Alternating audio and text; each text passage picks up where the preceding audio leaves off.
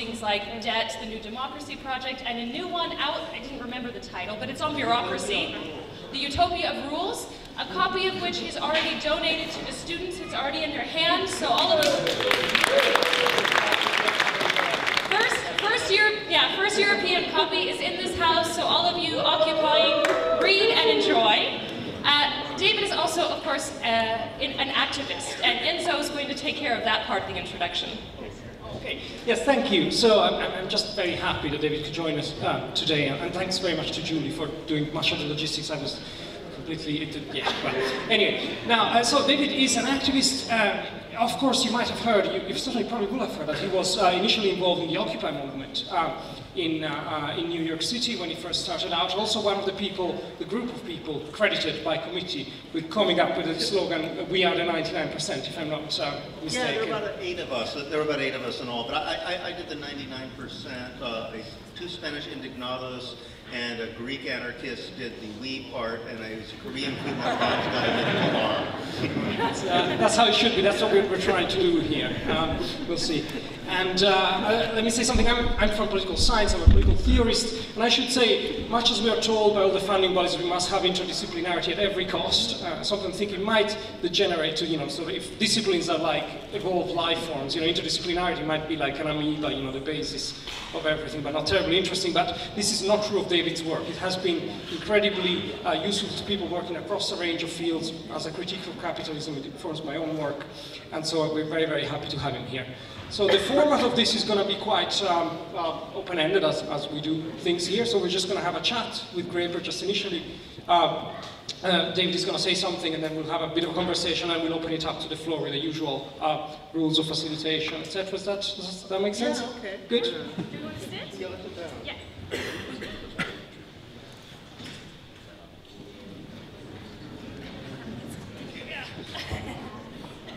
ah.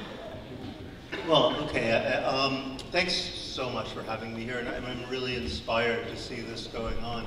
Um, I, I, asked uh, that we not just have me stand here and kind of talk at you for 45 minutes like a normal academic talk, um, would rather do something dialogic since it seems more appropriate and it's just generally more fun.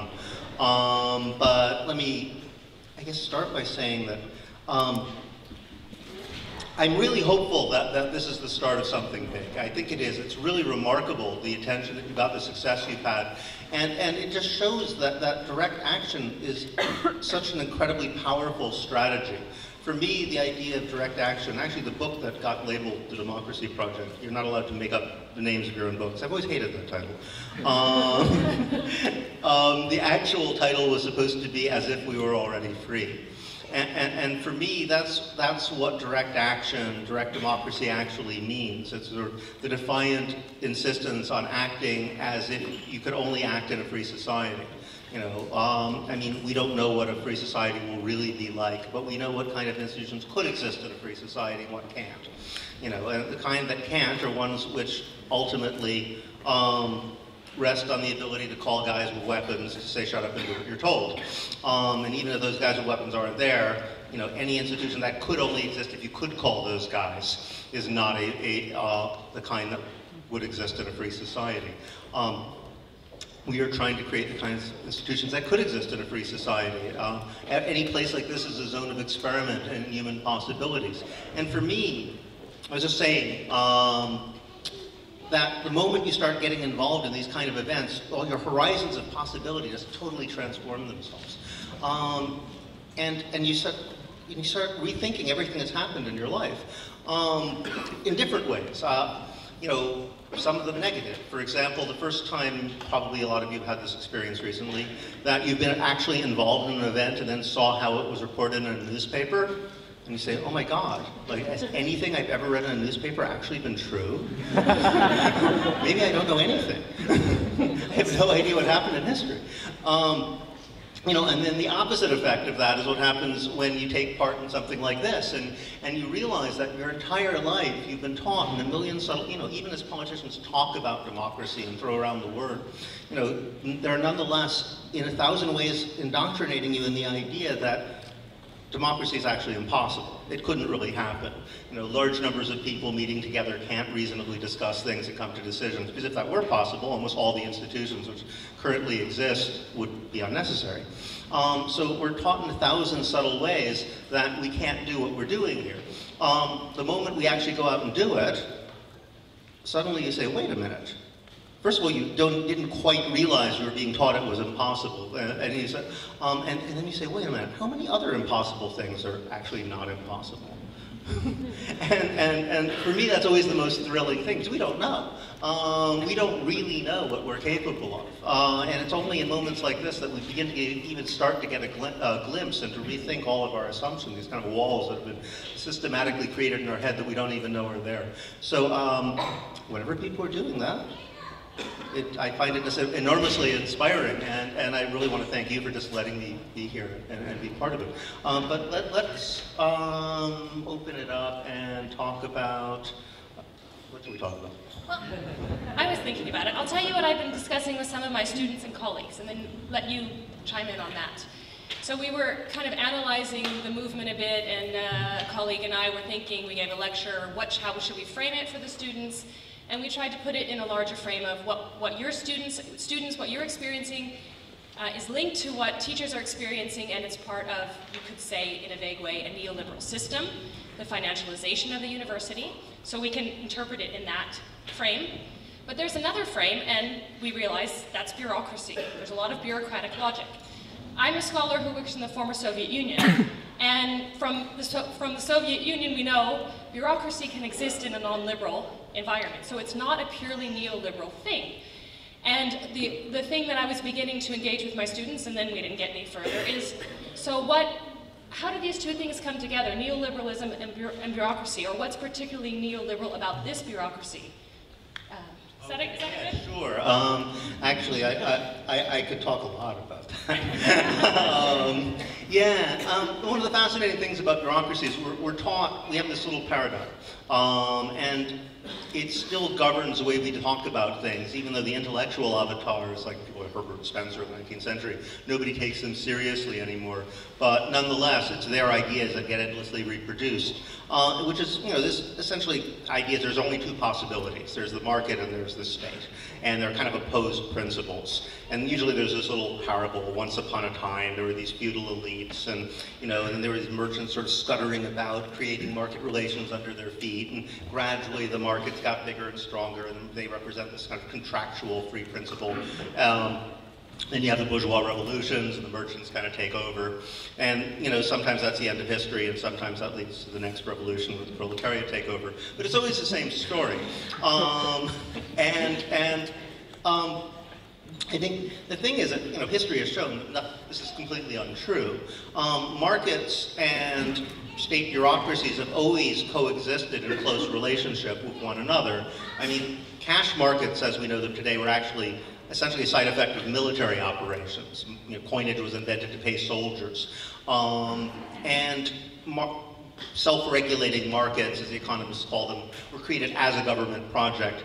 And over the 19th century, people kept pointing that out. You know, supposedly market relations are going to replace all this state bureaucratic structures. We're all going to have this free market you know, sort of utopia. Um, but what happened is you got more and more and more and more bureaucrats. Uh, it took, you know, far, far more, you know, registrars and legal clerks and um, officials of police, um, so forth and so on, to run a market economy than some kind of, you know, Louis XIV type absolutist monarchy. Um, in fact, I actually propose something in the book, I call it the iron law of liberalism. The iron law of liberalism says that any market reform that tries to, you know, sort of cut cut down on, on state involvement and, and, and unleash market forces will in fact create more regulations, more paperwork, and more bureaucrats than existed before. I think this can be historically demonstrated. It is always the case. Um, I don't know of any exceptions. I, I, uh, um, I mean, Soviet Union is a great example. Actually, in Russia, from 1992 to 2002, um, the number, total number of bureaucrats went up by 25 percent. So it went from 1 million to 1.25 million. And this is when the economy like fell, fell by half, you know. So there was less to administer, but they still had more bureaucrats under the free market system. Um, this always happens. And, and so we have to rethink like what it is we're even talking about when we talk about a market or a bureaucracy. Um, it is, to me, I think what's happening today is we're, I call it the age of total bureaucratization. We've entered a phase where public and private bureaucracy are essentially so interpenetrated that you can't tell the difference between them.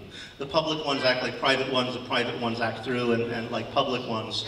Um, so, and, and this corresponds to a shift in capitalism itself, where capitalism actually works more and more through bureaucratic means to extract wealth directly from people. It's almost like a quasi-feudal system um, rather than indirectly through the wage. Um, to give an example of, of, of, what I mean by this fusion, I was on the bank, uh, on the phone to the bank the other day.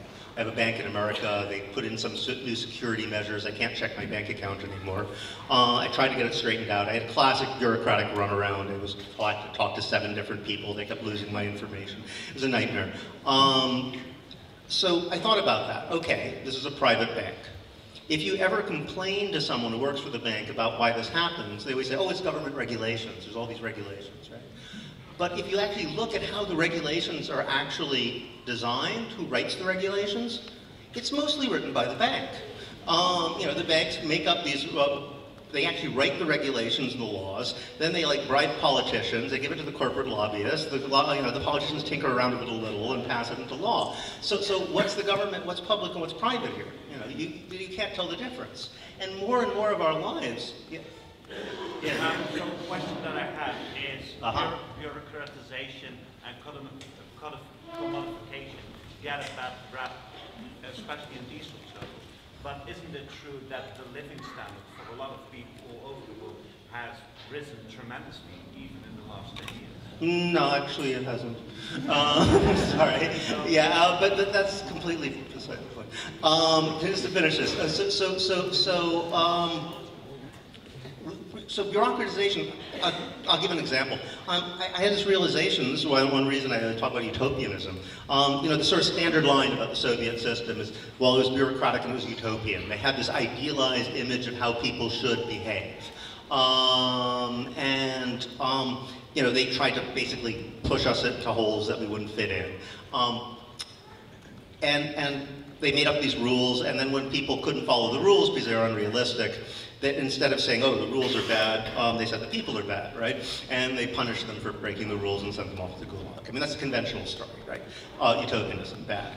Well, if you think about it, okay, here's a, here's a statistic. Um, a few years ago, apparently JP Morgan Chase, which is the largest bank in America, uh, one of the most profitable firms, and most profits from firms nowadays are from the finance and not from actual commerce or industry.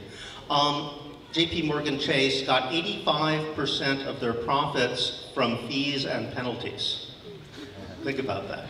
So basically, the major source of profits in capitalism is now making up a set of rules that you can't follow. Because of course, if you did, could follow them, they wouldn't make any profits, right?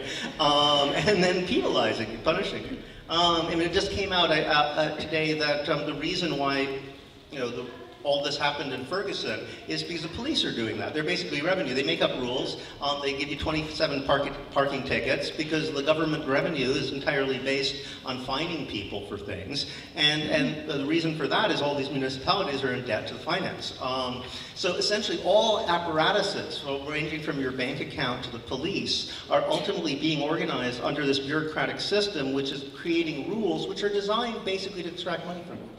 Um, I mean, education, it's the same thing. This is what they have prepared for you if you don't stop this, if you don't do what you're doing here. Eventually, they're going to go over to a student loan system where the entire point of a student loan system is to, you know, extract money from you and extract money from you largely because you're not able to actually make your payments on time and do things right and they slap insane enormous fines.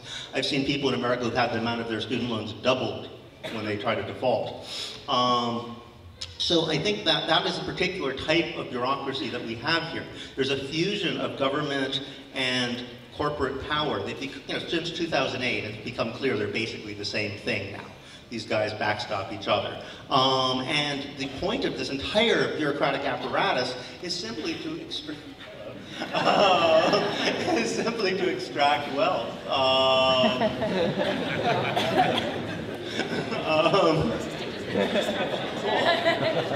Don't worry, it's only art. yeah, it's just simply to extract wealth. So, so, so, so, so that's what we're dealing with here. Um, Enzo, go ahead. Right, yes, I, I, I meant to ask you a bit more about this idea of um, extractive capitalism. So there's a, there's a standard story that people tell you, like back in the old dark Middle Ages, there used to be these feudal lords and then they would extract uh, revenue from their peasants because, or else, you know, they come with big swords and, you know, and, and then, but now suddenly, you know, thanks to these merchants, you know, this kind of um, myth that you just exposed, you know, thanks to these merchants, now we don't need to do that anymore. Nobody comes with swords anymore because now we've got entirely legal, entirely economic ways of, you know, passing money around, or maybe primarily in one direction. But uh, what you're suggesting here is actually that nothing much has changed in the Middle Ages, or, or, maybe there was a period when things were a little bit different, but now we're back in a system where you know there is a, a sort of a feud, semi-feudal elite that just extracts money from uh, a larger mass of people. So I was wondering, could you say a bit more about this and exactly what might that entail, particularly for education? Or yeah, have a go.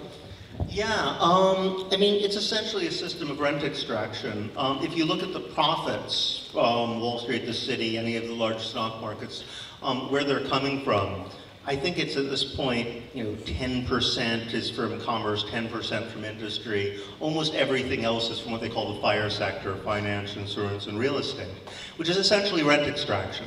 So, you know, it raises the question about whether this even is capitalism, uh, according to a lot of the common definitions you know, when I was in school, I was taught that um, capitalism is when you, you know, the classic Marxist, right? Um, capitalism is when you extract your profits from the wage differential. You, know, you pay your workers enough to reproduce their lives, but they produce more and you pocket the difference. You know? Um, that's capitalism.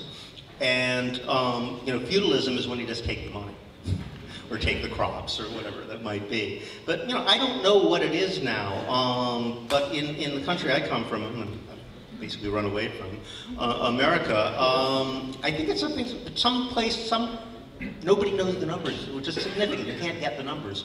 But something like 20 to 40% of the average household's income is just directly taken away every month uh, by the fire sector. By, uh, and, and this, in order to back that system up, first of all, you need an institutional structure which is more and more based on naked force. So it's hardly surprising that during the period where this financialization, and you know, financialization is, is, is an interesting word.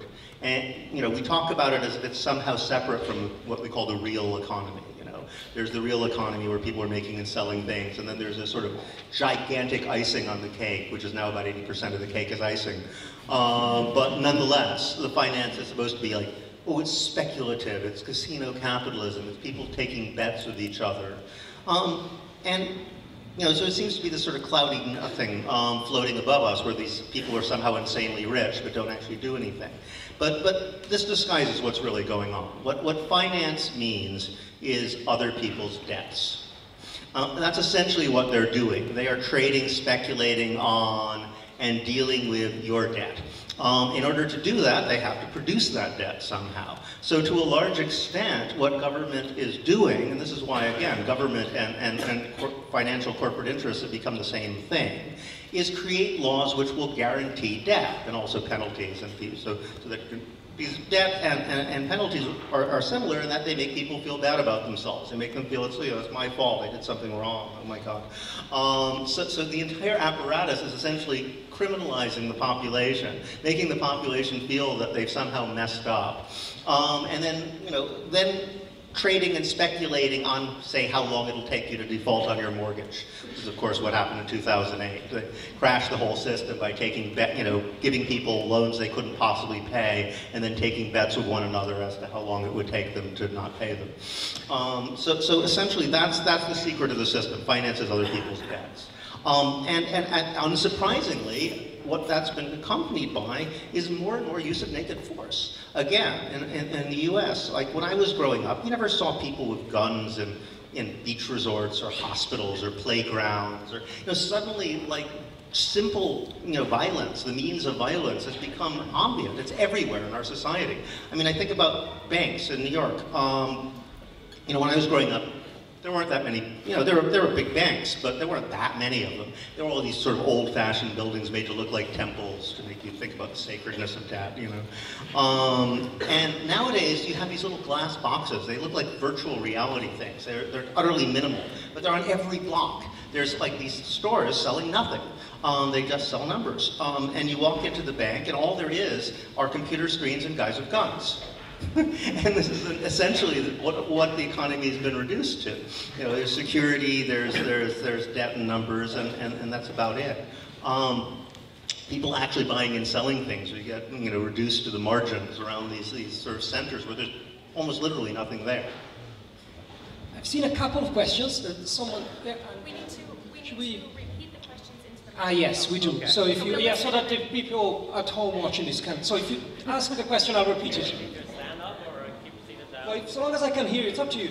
Uh, I just wanted to give an example of the general uh, thing you sketch to, to give the Dutch context. And it's going to sound much more benign than, uh, the, uh, than you sketched it. So I want you to, to make more explicit why do you use words like criminalization or why is it bad. The example is uh, the care for uh, uh, neighborhoods uh, has been traditionally a concern of the municipalities. So clerks were busy with it.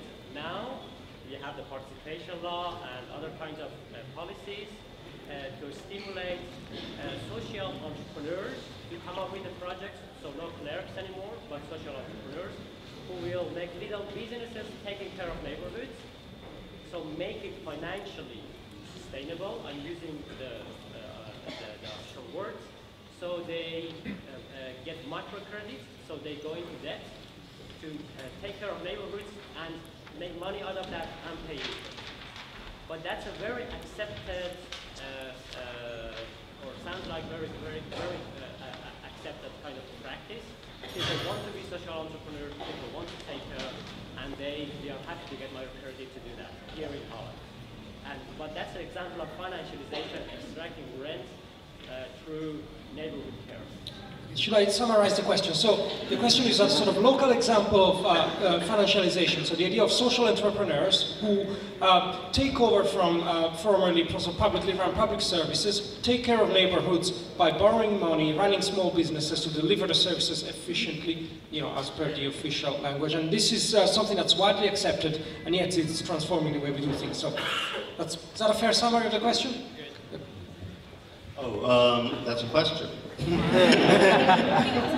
okay. Well, okay. Uh, um, the idea of microcredit, I can talk about that in general. I don't, I don't know the specifics, but I mean, it's a good example of something that's happening everywhere, um, which is substituting any sort of, of community organization that could be democratic with something based on a debt-based, financialized, and, and, and corporate form.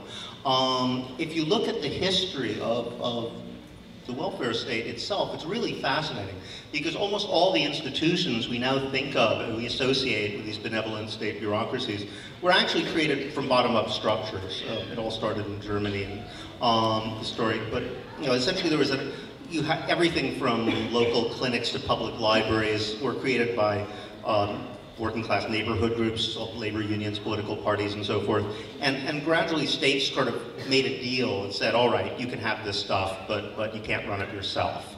And, and they bureaucratized it and, and ran it top down, which of course then means they can take it away. Um, after World War II, I would say you could almost speak of two cycles of post-war um, political economy. And the first cycle is from end of the war to the 70s, and this a sort of Keynesian period. Essentially, they make a deal with the, um, at least the white working class of, of, of the North Atlantic countries, Europe and, and United States. If you guys don't become communists or don't play around with radical politics, we'll give you the welfare state, we'll, we'll give you, um, you know, if your kids are smart, they can go to college for free, so forth and so on. citizenship rights means basic forms of social protection. Um, and you could see almost all the political struggles the 50s and 60s as more and more people sort of wanting in on the deal, whether it's the civil rights movement in America, ultimately women who were frozen out at first saying, well, what about us, what about us? Um, so gradually, you had a crisis of inclusion because capitalism can't actually offer that good a deal to everybody. There's always got to be somebody who's screwed, usually most people. Um, and um, you know, once you hit a certain point, the whole thing falls apart. You have the crisis of the 70s, financial crisis, oil shock, um, visions of ecological catastrophe. And they come out the other end, they say, okay, New Deal. Um, or New Deal is abolished. Um, new New Deal.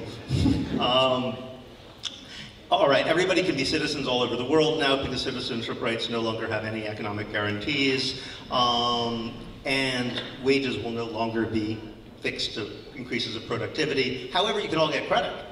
So you have this sort of debt-based cycle. Um, suddenly everybody's supposed to be managing their own retirement accounts, their mortgages. Um, microcredit is going to save the third world. So microcredit gets extended to every aspect of things. And once again, there's a, you could say there's a crisis of inclusion. Once it gets too far, you know, again, the system can't actually really include everybody. Um, so once it gets extended too far, you get the mortgage crisis, right, which is exactly them pretending to extend credit to people they don't really intend to uh, extend credit to and, and, allowing the whole thing to collapse. Um, so we're kind of in the shock of that. And, and, and we haven't figured out what the next thing is you know, it, the shock looks very similar in a lot of ways to the 70s. You know, first you had the oil crunch and the financial crunch and the visions of ecological catastrophe. It's not that they aren't real, but, you know, all of this seems to happen in a period where, you're trying to come up with the next thing. But they haven't figured out the next fix. And that's why what we're doing here is so important, I think, politically, is we are at a moment of juncture where they haven't actually decided um, what they're going to throw at us next. You know, we actually have some, some control over this what we do is, the importance of what we do at moments like that is really magnified. So I think in terms of social entrepreneurship, sure, that's what the old model was all about. And, and of course, it didn't ever work they couldn't do it, right? the thing is, as a long-term strategy, it's become completely unviable. And the people running things actually actually understand that. If you if, if you talk to them, the politicians are useless, right? They're all just they're robots. They just say what they're supposed to say. Uh, but if you talk to the guys who you know people in a central bank or the people who are the technocrats who are actually supposed to run the system, they usually admit to you, yeah, well, this is kind of running out of steam. We've got the ecological crisis, we got the debt crisis. It's not going to work over the long term. Tell us what the next thing is. They don't know. And, um, I've got a question here and then over there. Okay, so let me collect, let me collect three. No, I'm going to take three collections. One, two, and a woman back over here. Yeah, okay. So you can, you can reach. These questions come from the live stream. Um, I have to scroll up a little bit to read them. Um, can somebody ask David uh, what is suggestion for distributing limited resources in education if it is not to be based on quantified performance, while society is no more supportive of higher education? And the second question uh, from Ewald Engelen on the live stream, uh, how this relates to the UvA.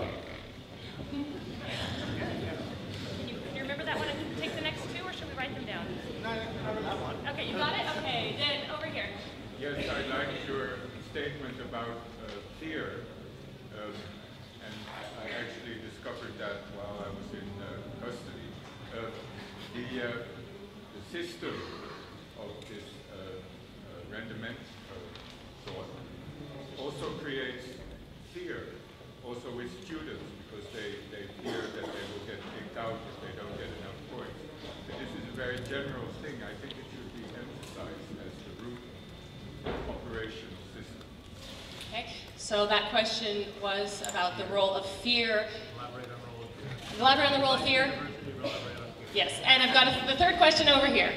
Uh, yes, you already touched upon it, but um, you mentioned uh, women, uh, so I was wondering if you could elaborate a little bit more about the role of specific oppressions, because it's true that a lot of people are yeah, in the same boat, but they get divided.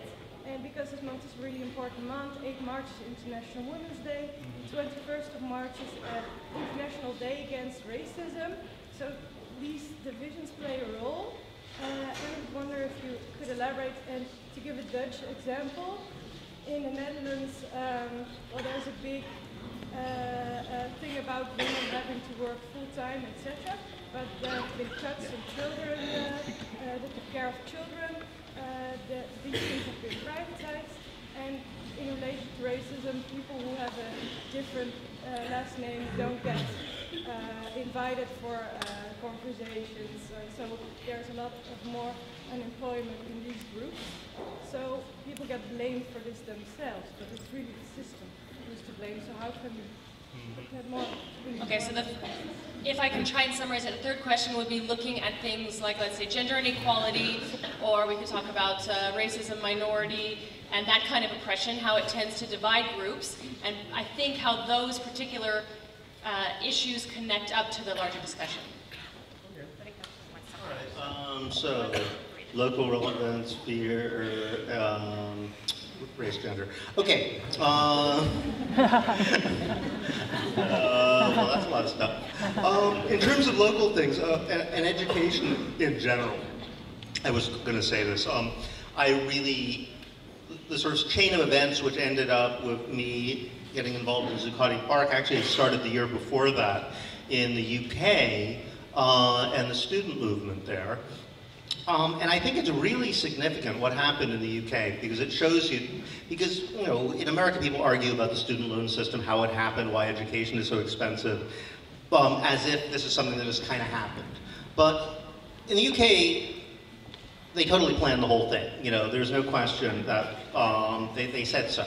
So, so you, it makes it very clear what's going on in situations like this. In 2008, of course, um, with the financial crash, the entire financial system has essentially completely discredited and delegitimated itself.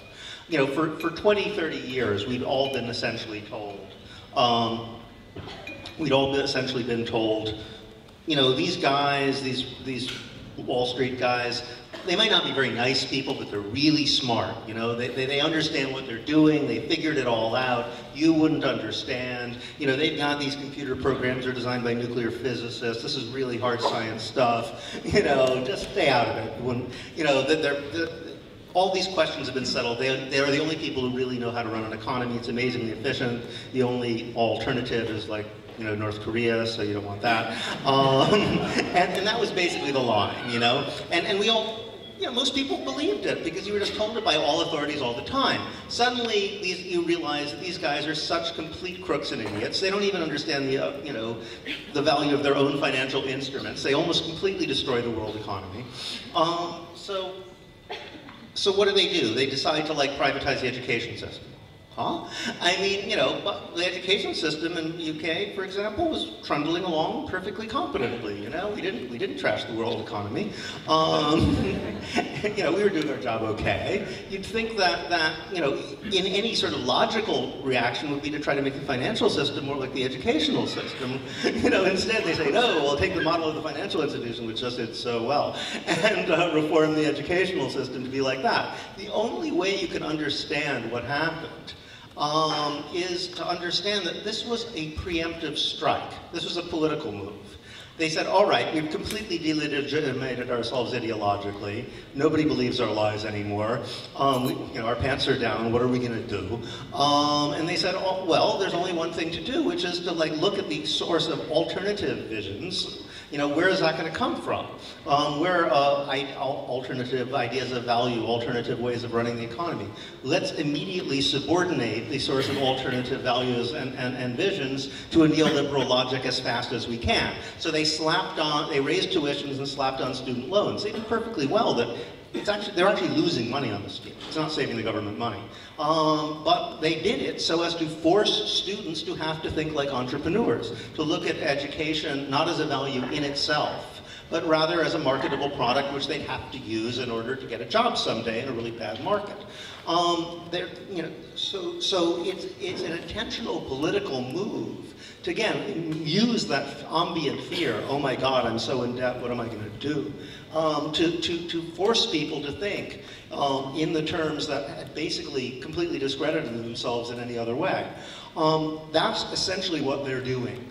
Um, and you, as a result, we're in this weird situation where, in terms of education, what had been, you know, not that long ago, really old-fashioned conservative values are now really radical values. And what I mean is, you know, like medieval values. Like the idea of, of a university used to be, you know, based on the principle of the guild system. People who make something have an right to autonomously govern the, the process by which it's made. And if you're making linens, you form a linen guild. If you're creating scholarship, you create a scholars guild.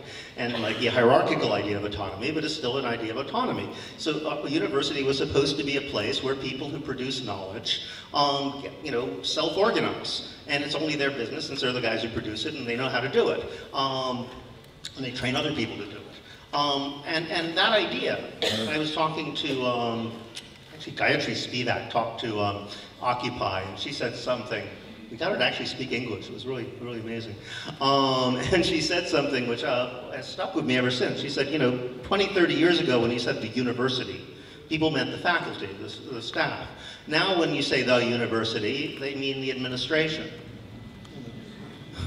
That's significant, right? Um, you know, we are no longer a community of scholars. We're, we're, we're, we're a business. We've gone from being a medieval corporation to being a, a corporation corporation, um, being a capitalist corporation. So, so creating eh, knowledge, learning things, studying things, uh, understanding the world is no longer the point of a university. That's just deeply disturbing. So, you know, that very conservative value, that knowledge is a value unto itself. You don't, I mean, you don't want knowledge just to make money. You actually, you want to make money so you can get knowledge. Um, why do you want to have an economy anyway? So people can learn things, understand things, become richer and fuller human beings. Well, it's, it's all turned into reverse. Now the only reason you want to understand the world is so that you can get more stuff. it's complete, it's, so in a way, we're, we're, we're, we're what we're defending here is, is what used to be called civilization. You know, I made a joke about this when I was at Millbank, um, you know, when we smashed up the Tory headquarters, and of course, that was fun. Um, anybody there? You um, anyway, yeah, and I was, I was talking to like a Tory reporter from the Telegraph, and I thought, what kind of trope shall I use? So I, I thought, well, you know, what would make sense to a conservative? I said, well, you know, your guys are going to represent us as barbarians for smashing up the place. Um, but if you think about it, why do we call, use the word barbarians anyway? You know, um, you know, you didn't call the Goths and the Huns and the Visigoths barbarians because they broke things. I mean, Romans broke things a lot. You know, um, you call them that because, you know, at least according to the story, they had no respect for the art and the culture and the philosophy and the poetry. They just wanted the money and power, right? Well, who are the barbarians here? I mean, you know, we might be...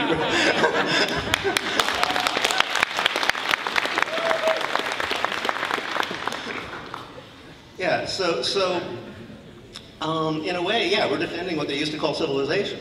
That's what we're doing here. Um, eh, so, so in terms of how, how how do we deal in a place, well yes, they've tried to discredit education. We need to remind people what it is, uh, which is a, basically the sum of human accomplishment over time. Um, and, and second of all, in terms of how do you distribute resources, I mean, that's what democracy is about, you know?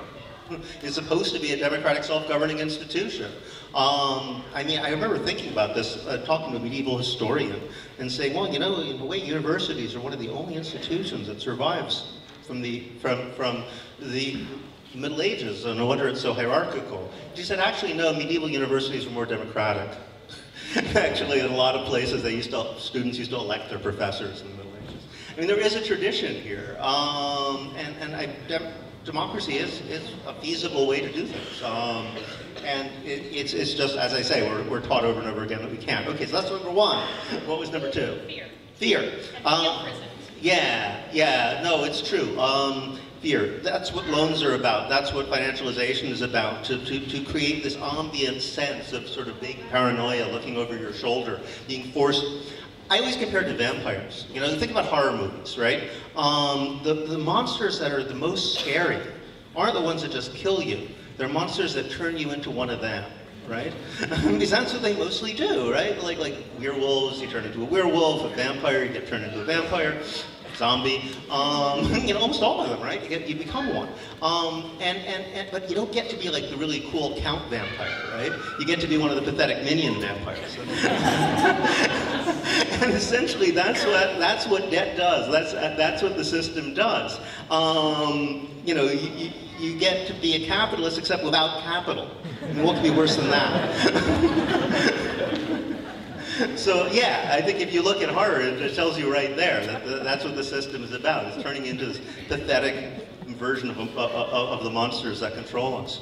Um, okay, so in terms of, of, of race, gender, um, I think that one thing that we've learned since the 70s, and, and feminism is, is, is largely responsible for that, is that to a large extent we've been doing things backwards.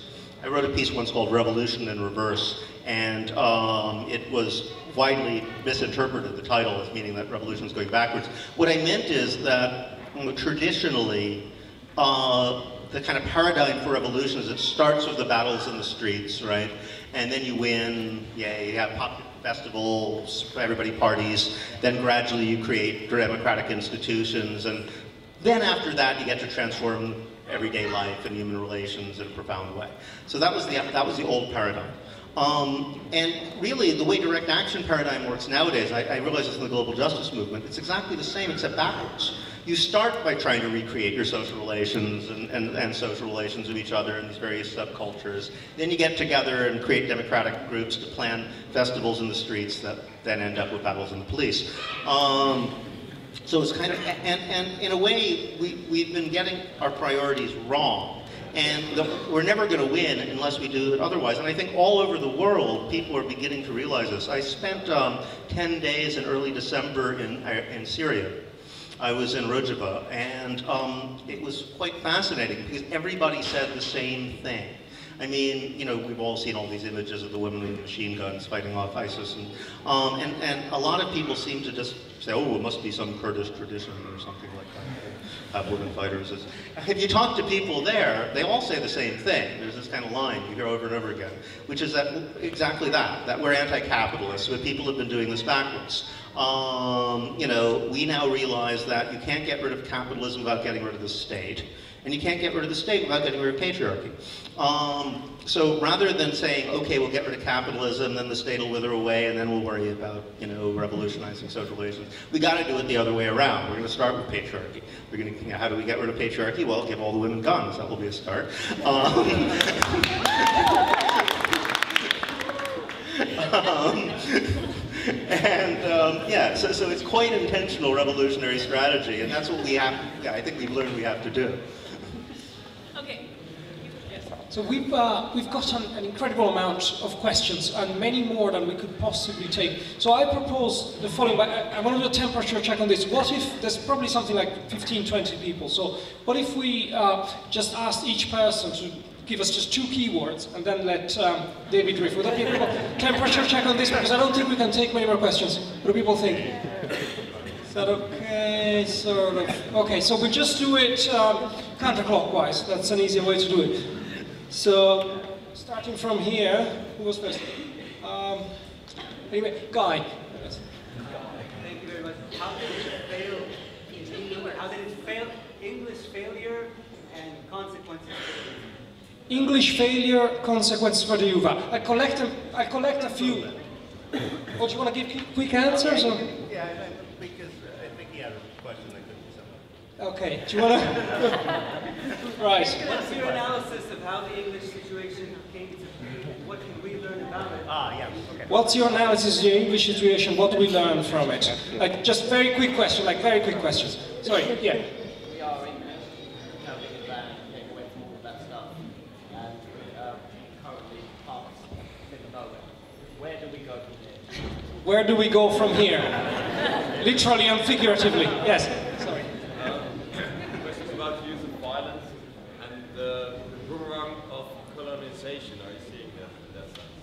The boomerang of colonization. One, one more question. Uh, in retrospect, what do you think Occupy should have done differently? What should Occupy have done differently? We stop now, quick barrage of answers, then we move across the room, okay? Yeah, the first one, I got notes. UK situation and what Amsterdam, our university. Okay, yeah, yeah. Um, UK situation was really different. Um, they went after the universities first, and that was an intentional strategy because they'd spent years and years on sort of populist propaganda, sort of right-wing populism, whipping people up against students, uh, like making them think that they were parasites living off the public dime. Um, that, so, so that's why they, um, it was strategic for them to go after the universities. And they knew that there would be riots in the streets, but they figured it wouldn't kick off into general riots. And indeed, people kind of waited till the riot, the students were put down, and then they had the general riot. Um, so I think that um, the, the worm is starting to turn in the UK. I mean, there's a, an enormous amount of propaganda and pressure, and the political parties are, are united. But like, if, you know, the overwhelming majority of people in the UK want to see free uh, universities, they kind of renationalize the trains. You know, the positions of the populace is like way to the left of the political class. Um, so, you know, they've got a political lock, and it shows that you need to organize outside the system because there there is put enormous pressure on you to enter the system, but once you do, you know, they, it, it's ground that's like where money is basically the only thing that matters, uh, and you're locked down. So, so, um, okay, um, where do we go? In England. Um, I think it's really important to, to have a, a direct action component, to, to create an outside.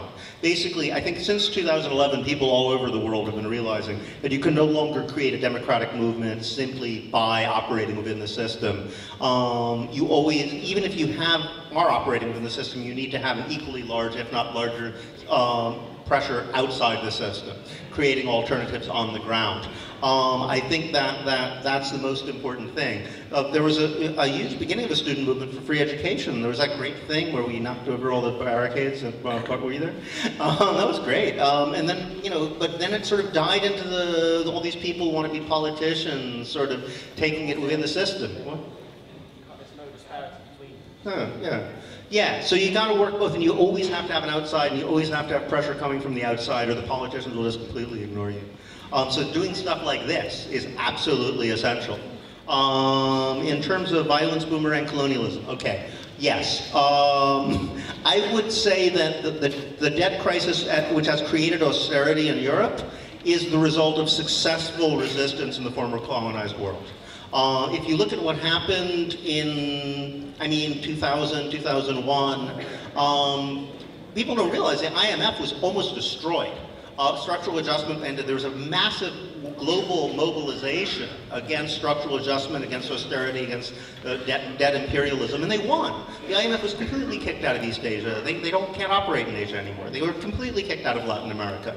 Um, Argentina defaulted uh, again because of pressure from outside the system, not by people entering the political process, but by people saying, okay, their slogan was like, que se vayan todos. You know, they can all go to hell. All politicians are rotten. It got to the point where politicians couldn't even go to restaurants. People would like throw food at them. And when, you know, when that happens, then the politicians have to do something, right? And so they defaulted on the loans and it set off a chain of events that basically ended the third world debt crisis. Um, ever since then, and there was a point where the IMF was almost bankrupt itself because um, you know they, nobody would deal with them anymore. And then finally, suddenly the debt crisis reappears on the fringes of Europe and uh, in southern Europe, and, and, and, and you have this new wave of, uh, of resistance and mobilization. Also, uh, Middle East, which is one of the few places where that's what's still going on. Uh, I could go into the whole history, but yeah, you could, I, you see this as a process of imperial collapse. I think that's very much what's happening. Um, the US empire is gradually falling apart. The US empire was the guarantee for this overall global financial structure. And it's imploded. Um, that's why it's finally come here. And essentially we're scrambling over the cookies as the empire collapses. But I think there's reason to be hopeful. I always point out that, you know, the UK, it's when the British lost their empire that they got free healthcare. And they got the social welfare state. It doesn't mean that, that, that there can't be positive social outcomes of the collapse of empire. You know, empire doesn't actually benefit the bulk of the people, in, uh, even in the imperial center. Okay. Um, what Occupy should have done differently is it shouldn't have been so naively trusting of the sort of what we has sometimes been called the liberal class. What essentially happened with Occupy is that we suddenly got insane media attention. None of us had ever, ever seen anything like were shocked. I mean, a lot of us have been doing this stuff for years. There's this famous case, Tony Baloney, this guy, this uh, uh, New York cop who pepper sprayed some people at a protest and made national news and everybody's talking about police brutality and violence against protesters and a huge scandal. And I remember when they first said that the policemen had attacked some pepper spray guys, I, I looked at the video on YouTube and said, oh, that's Tony Baloney. Um, you know, we all know him. He's, he does this every every two months. And he's always attacking protesters. That's just what he does. But like suddenly it was national news when he does the same thing he always does. Um, something was going on, and I don't think we realized that what was really happening was that there were elements, sort of the left wing the Democratic Party, the liberal establishment, who thought, oh great, this is the left-wing version of the Tea Party. Yeah, we'll bring them into the, yeah, they say they're anarchists, whatever. You know, we'll bring them into the structure, we'll, we'll, we'll, we'll get them, you know, to run campaigns, and this is the new blood to, for us to do all those things that we're too incompetent to do ourselves, because, um, and, and when they realized that we were actually serious about operating outside the system, because we really did believe the system was fundamentally corrupt, they said, oh, well, in that case, never mind. And suddenly, bam, um, there were coordinated attacks. When there were coordinated attacks on us, media just stopped. So I think we become too dependent on assuming that somehow, you know, these guys weren't actually pulling the strings and trying to manipulate us in a certain di direction. So I think we should have like realized that that was going to happen and made long-term plans around the idea that we were in a tiny window that wasn't going to last.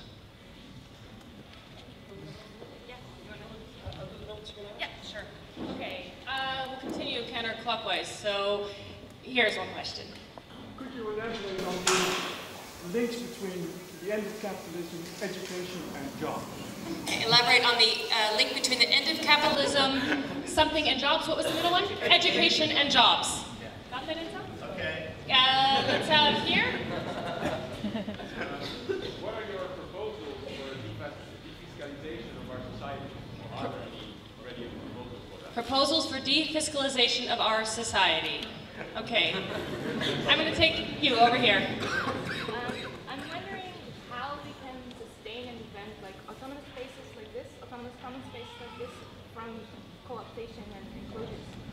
Okay, so sustaining autonomous events like this from co-optation and enclosures. enclosures. Okay, and I'll take one more way back there.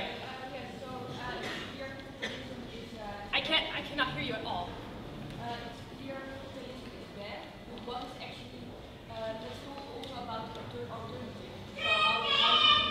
Okay, so alternatives to capitalism.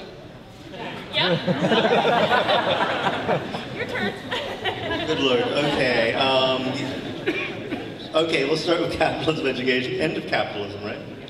Okay, yeah, I agree that I, I, I think that, that capitalism isn't going to last certainly not another 50 years. I mean, by some definitions, it's already kind of gone down the tubes since we're, we're dealing with like a system of direct extraction, you know, by some definitions.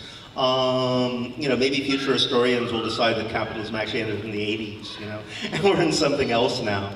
Um, but, but um, in general, I often say I, I, I don't worry that capitalism will still be here in 50 years. What I'm more worried is that the next thing is going to be even worse, you know? Um, which is all the more reason why it's insane to say we shouldn't be thinking about something better, you know? Because we have something else that's either going to be better or it's going to be worse, you know? And I, would say go for better. Um, but in terms of relation of capitalism, education, and jobs, I think I, I, was actually on the radio the other day on BBC on, on a TV show, I mean a radio show about, you know, when the robots steal our jobs.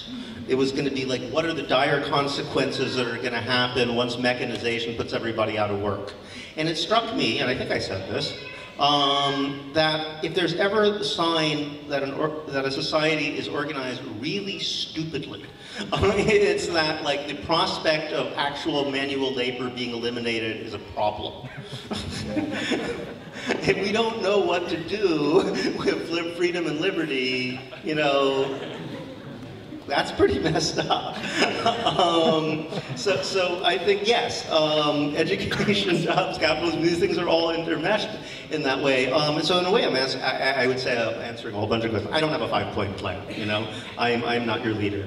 Um, I'm here to sort of uh, I try to facilitate and, and listen to ideas that I hear from other people and, and tell.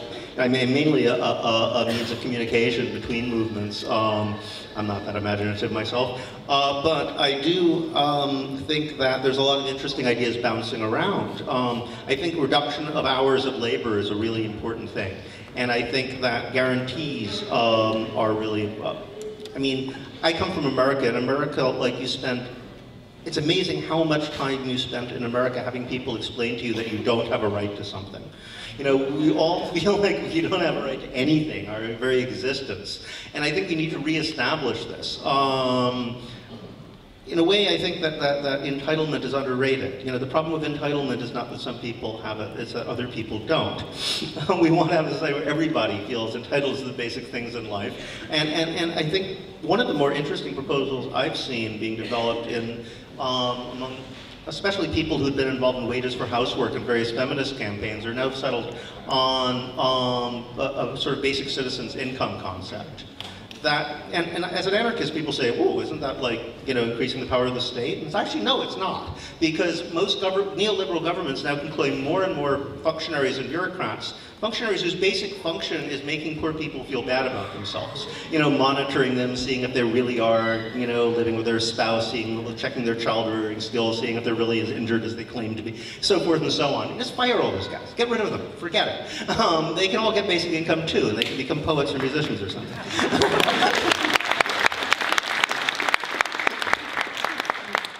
I think everybody should be just guaranteed the means of life. And if people decide for themselves, like how they want to, you know, there'll be a few people who'll do nothing, but you know, most people don't want to do nothing with their lives. Most people want to contribute, and we've already got a lot of people doing nothing. I don't think it's going to be more. yeah, and, and I think that, that most people, if left to their own devices, would come up with better things to contribute to the world than the current system gives them. Because right now, we've got nothing but parasites and useless jobs and people doing things that they themselves know is not contributing anything to the world. So yeah, basic income. Give everybody the means to existence and let them decide for themselves. Um,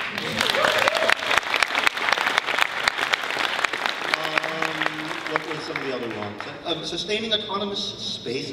So that's also an alternative to capitalism.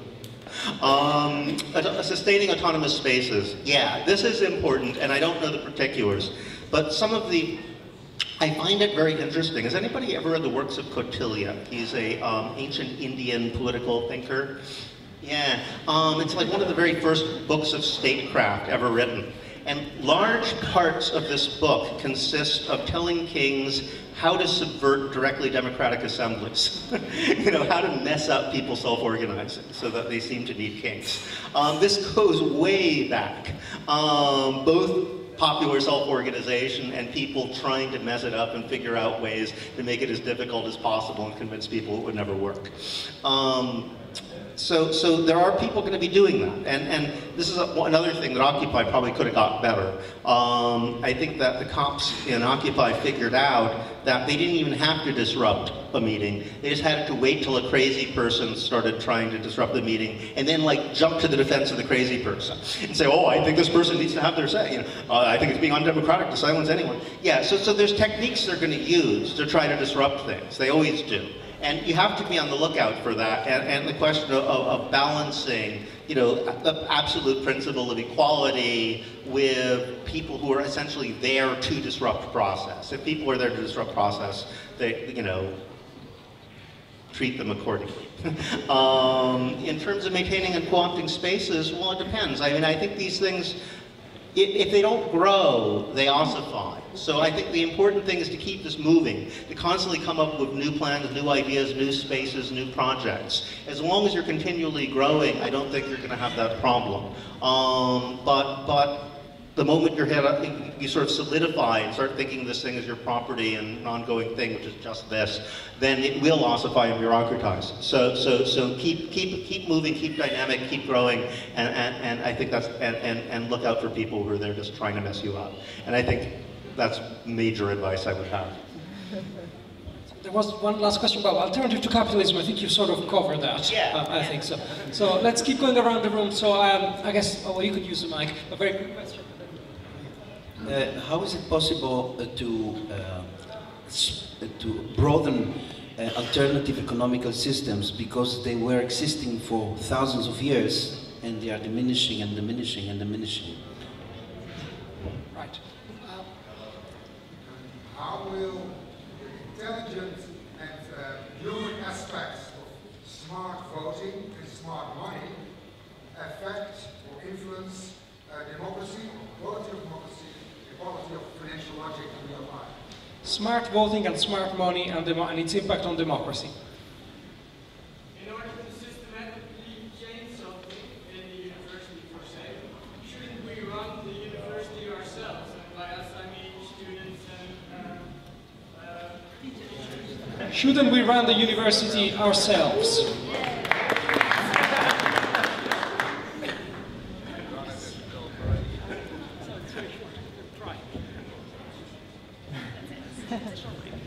Okay. Imagining the impossible inside here, how to deal with the outside where we are faced with this structure is not able to imagine anything at all.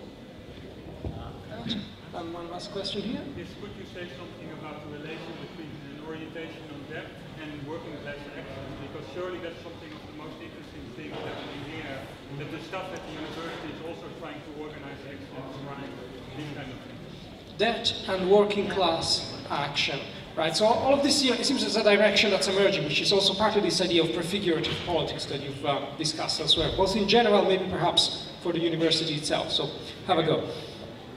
Wow, um, that's a lot of stuff. Um, all right. Uh, in terms of alternative economics uh, and space is shrinking, in a sense that's true, and in a sense it's not. I mean, if you're talking about, you know, actual autonomous little economies operating in a little bubble, I mean, I don't know. First of all, we don't know what's happening in a lot of the world. Um, there are a lot of experiments we don't know about because sometimes they don't want you to know. I was in Madagascar in between 89 and 91, and I was in a small town, and it took me about six months to realize that the state had basically left. There was no functioning government. You know, nobody was paying taxes, police would not come, but nobody wanted me to know that.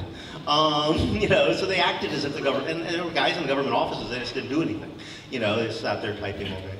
And, and um, you know, so they had developed an alternative system of governance and economy, you know, um, and the last thing they wanted to do is like put up a big flag and say, look, look, we are autonomous, come look at our alternative economic model, because then, you know, the state would have to come in.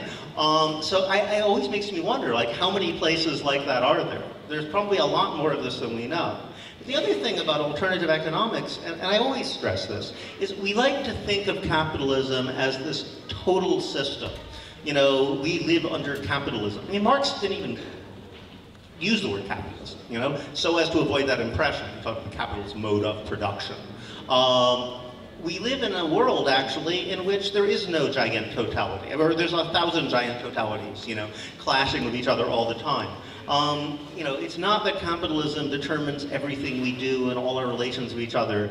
You know, the system definitely affects everything we do. There's all these on patterns of authority. Some of them come from capitalism, some of which are much older, like patriarchy, um, that you know affect us and, and warp our, our behavior in ways we're not aware of. But it's also true that you know, I mean, half, I think someone actually did a study of the UK, and 50% of all labor isn't to- directed toward making money. So, you know, like half of the work that people do is already outside the market capitalist economy. Um, we already live in communism in a certain degree. If, if communism is simply the relation of from each according to their abilities, to each according to their needs, um, you know, if inside a workplace, well, people are acting communistically. You know, if I'm working even for a capitalist company and someone says, you know, hand- you know, fixing a pipe, and someone says, hand me the wrench, I don't say, yeah, what do I get for that? You know, and you actually allocate resources on a communistic basis, you know, because it's the only thing efficient, oddly enough. It's the only thing that works um, to get things done. And um, so, so I think relations of cooperation operate very differently than a capitalist logic. I think that, you know, basic relations of every society has a minimal level of communism. Like, you know, if the need is great enough, like I'm drowning, or the cost is small enough, you have a light direction. You know, everybody will act from that, from each according to their ability, to each according to their needs basis. So, you know, communism already exists to a certain degree. It's just, and it's never going to embrace all social relations, but it's always the basis of social relations. Also, all human possibilities are already there to some extent, and we're already experiencing the alternatives. Every time you come to an agreement with another person that wouldn't have to be enforced by some bureaucracy of violence, you know, you're practicing anarchism in a way. I mean, you're, you're creating social relations that could exist outside the state. Um, so these alternatives exist a lot more than we already know. The problem is as soon as you make them large and institutional and you say you're doing it, then people want to crush it because they don't want people to know that. Um, but to some degree, it's, it's a process of just people making us aware of what we're already doing. I mean, I said that about um, Occupy. One thing I realized about Americans is that we weren't very good at the direct democracy stuff because nobody has any practice. But the communism stuff we were great at, and everybody knew how to cooperate. So in a way, Americans have a lot of experience of communism directly, and, and they just don't have any experience of democracy, oddly enough. um, yeah, okay, so um, smart voting, smart, uh, all that, that, sort of internet smart money voting stuff. I, you know, I, I, I am not an expert in that stuff. I, I, think it's very important that we develop these kind of tools of communication, but I think there's a tendency to fetishize them and imagine that social movements and global social movements come out of the technologies rather than the other way around. I think that there's nothing more important than doing what we're doing, sitting in a room, actually meeting each other. And, and that, you know, that's ultimately what it's all about. And that the technologies are a way to facilitate having that happen in a productive way.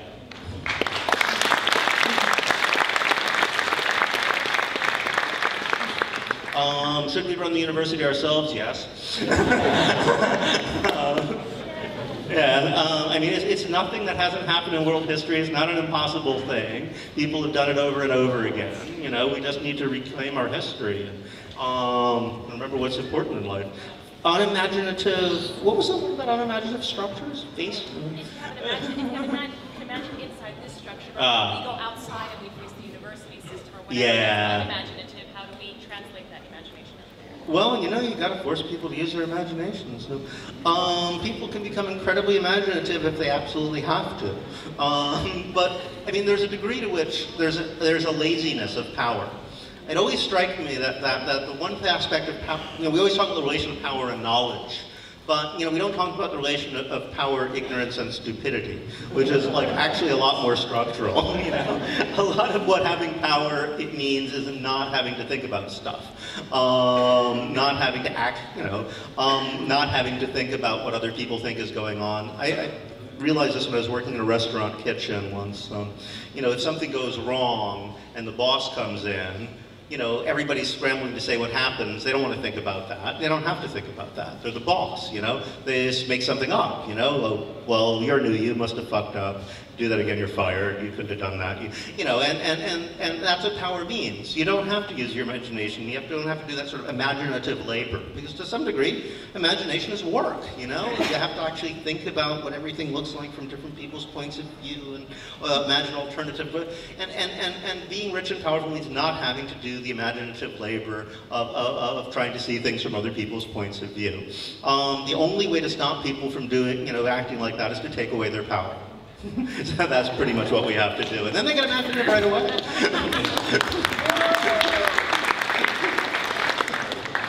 um, debt and working class action. Okay, that's an interesting thing. We got a lot of shit when we started working on debt in Occupy because, especially in racial terms, a lot of people said, you know, in, in poor black neighborhoods, we're worried about rent you know, we don't have student loans, you know.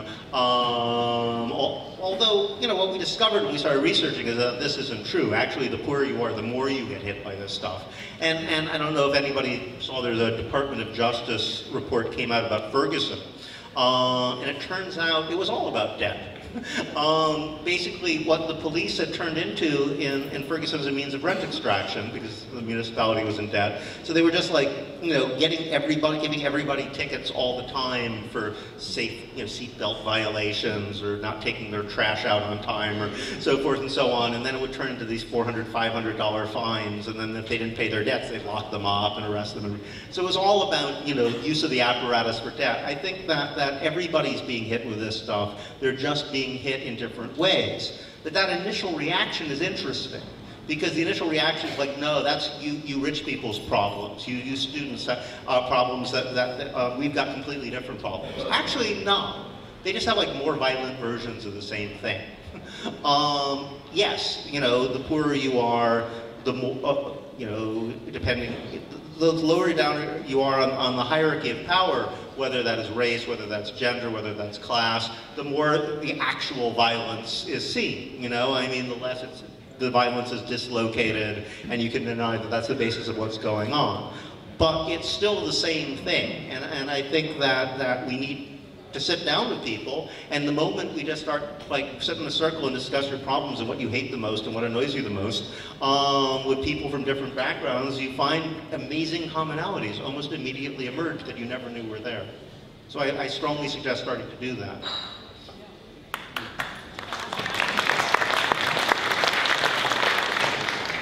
All right, we have time for one last round. So, okay, I have got, look all the way over my shoulder. All right, but you both have asked questions. Huh? This is live stream. Okay, so we'll take, uh, let me start with the live stream then. So another question from the live stream. Um, if you were here at the occupation, what would you say to the board? okay, let me see if there's anyone I can't see back there. Okay, I'll take you over here.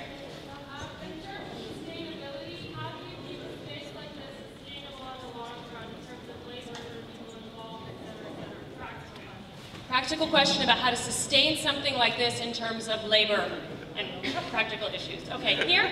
Uh, what do you say to the existing, uh, to the increasing number of alternatives to capitalism and to the state, but that are increasingly right-wing in nature versus in Eastern Europe? Wait, I missed part of it. Increasing? Right-wing alternatives to capitalism. Right-wing alternatives to capitalism. And the increasing number of them. Yeah, what, what's your reflection on that? And the reflection on that. Yes? Can you reflect on uh, critical pedagogy in a sense of the, the pedagogy of the oppressed kind of approach as a tool for social change? Critical pedagogy, pedagogy of the oppressed, reflect on it as a tool. Yeah. Critical pedagogy of the oppressed and reflect on it as a tool. Okay, how many do we have? Four. Four? Okay, then I'm sorry to disappoint all the others, but I'm going to close the floor right there. All right. Uh, I'm sorry to disappoint you guys because uh, I'm not sure I can really so far I've been asked like to organize your space and to negotiate with the board. um,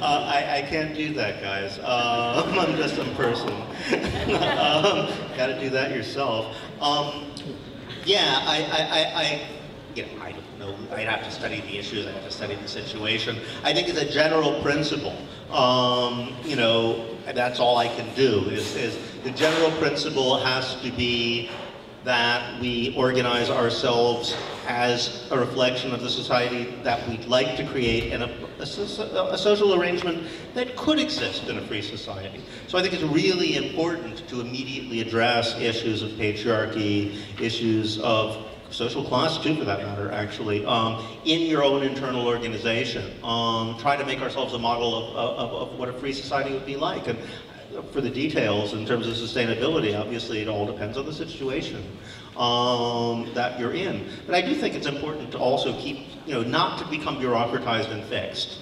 Um, to remember, this is something I always remind people about consensus. We had a big problem in Occupy, that people kind of fell in love with the formalities. And they came to think that consensus, for example, was actually a set of rules. And then people say, well, this is not a very good set of rules. You should have a different set of rules every time something went wrong. But it's not a set of rules. I mean, all it is is the principle that you can't force somebody to do something they really object to. You know, if you can't force somebody to do something they don't like, well, you have to have some minimal consensus from them in order to make a decision. So even if you all come to consensus that you will abide by a majority decision, that's still consensus because, you know, unless you can force the minority to go along. Um, so be flexible, but always bear that in mind. that ultimately we're based on consensus because we all agree that we're going to, you know, take part in this thing together and don't force people to do things that, that they, you know, think are absolutely wrong or fundamentally wrong on principle. Um, once you're working with it, you know, I, I always give the example of, of, all right, you know, 100 people meet because they're going to tear down a building. And somebody says, okay, let's have a majority vote. How many people say that we should all lay down in front of the bulldozers? And 51 say, yeah. So like, does that mean the 49% have to lie down in the front of the bulldozers now? Why? you know, they didn't agree to anything. Um, you know, ultimately, you can't force people to do something that they didn't agree to do. Um, so, so bear that in mind, I, I would say, as, as, as you're, you're, in terms of dealing with the board, um, make it clear that you won't get drawn into the system. They're going to try to co-opt you and divide you.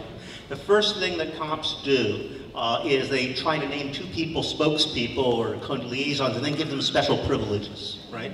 They're going to do this. They're going to try to select a few people and they're going to intentionally build them up and say, because of your relation with me, I'll let you do things that I won't let anybody else do. Then now you have to become an extension of my power and authority. And before you know it, you become an extension of the violence of the state in this indirect way.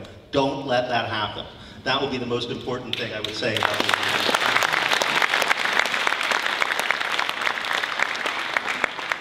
Okay, um, in terms of the right wing, well, I mean, if there's ever a sign of complete bankruptcy of the left wing, it's you know, fascists are taking up the anti-capitalist banner. Um, but in a way, this is why I wrote that book on bureaucracy.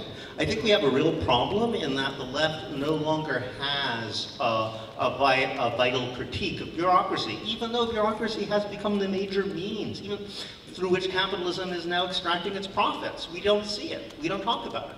Um, as a result, you know, the sort of acceptable left, which is barely left at all, in any sort of historical terms, the kind of left that you're allowed to have now, is almost entirely based on this kind of horrible synthesis of the worst elements of the market and capitalism and the worst elements of bureaucracy at the same time. I mean, why anybody would support this is beyond me. I mean, I guess some people, the professional managerial classes, this, this stuff makes sense. But, you know, hardly surprising that working class people find this utterly repulsive, because it is. It's utterly repulsive.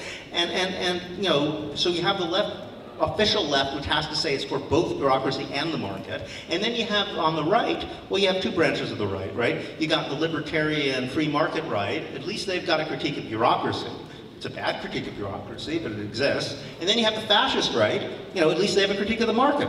Um, it's true, you know. I mean, they're for social welfare state, they just want it just for white people, you know. Um, so, so, so, you know, this is our problem. We gotta re, if, if there's ever an, uh, an, instance of why pathetic collapse of, of theory and, and ability to imagine and think about the situation that we're in has had pernicious political effects, that's it. So I think we need to radically break with that tradition and, and also provide a simultaneous alternative to both the market and bureaucracy, which is of course democracy, what you're doing here. We need to remind people that's what democracy is. Um, and finally, critical pedagogy, yeah, that's good. I don't um, I mean, what we're doing always is, is a form of critical pedagogy. We need to rethink how we do education. Um, I mean, I think that we don't, we, we shouldn't abandon any idea of education as a way of imparting knowledge. But we need to sort of, uh, but I think it's important to balance, you know, in some ways I've seen a lot of people use the participatory education way as a way of just avoiding responsibility. Um, you know, I don't have to tell you anything, you already know. a lot of students really don't like that. They say, and if I thought that I already know everything you know, I would be taking your fucking course. Um, but, um, so, so, uh, um, but it is absolutely critical to make our education become a way not of stifling our minds, but of opening them up. And I think this is, this is something I found really interesting. I was reading Ivan Illich on education, and he's talking about how education stifles our natural curiosity. And at first I kind of, I didn't really believe it. And I thought about, I thought about something. I thought, I notice that people who like haven't gone through higher education, they've gone through secondary education, maybe a little college, you know, they don't they don't ask follow-up questions. You know, have you ever noticed this? You know, the, uh, often a conversation becomes this, well, I think, oh yeah, well, I think, oh yeah, well, I think. And they just go back and forth shooting opinions at each other. And nobody ever says, wait a minute, if you think that, does that mean this? Or if you think, you know, or just sort of get inside somebody else's ideas and try to follow through and explore. And I thought, well, maybe higher education does do something positive and that it teaches people how to do this. And then suddenly I had this realization, no, wait a minute. Children do that all the time. That's all they ever do is, oh, wait a minute, if you're saying this, does that mean that? Why is that? Well, why is that? So, so basically, children have a natural desire to do this. So something is happening in our educational system, which is basically smashing that out of you. Saying, shut up, stop asking questions, stop thinking that way. You know, and then they have you have these little opinions. And an opinion is what you have when you have no power, right? An opinion is like, you know, this is what I would do, but I, I have no say in the matter. Um, you know, we don't want to have opinions. Uh, we want to have actual policies, which is what people, powerful people do. Uh, we want to have actual decisions that we make collectively, uh, and, which is the opposite of an opinion. Um, so, so essentially, you know, we have our natural inquisitiveness smashed out of us by this mechanized system. And then when you go to higher education, they put like halfway back in but not the whole thing, right? So, so, so I guess this is like the point of real critical pedagogy for me, or real education, is to undo the damage done to our minds by earlier education and open us up so we can just get back to where we were when we were children to begin with.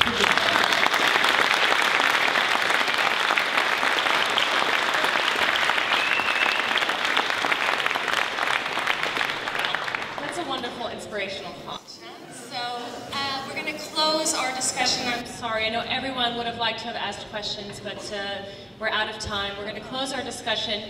Uh, before I do, I want to invite, in the spirit of the movement, we wanted, of course, to provide David with nourishment and lunch, um, but the Rethink UVA staff also wanted to do something for the students who've been occupying this building and, and, being the physical presence here that was so necessary in this movement to inspire us all, to, to inspire imagination. So if everybody who I can't see back there in the corner is ready. We've provided a lunch here at the occupied space. Is it ready? Fresh. It's not arrived yet. Okay. So French. Not okay. In, in a few minutes, we're still going to end the discussion, but in a few minutes there'll be a lunch for David and for all the students who are sleeping here day in and day out. And after they've eaten, what's ever left is, is for the rest of us.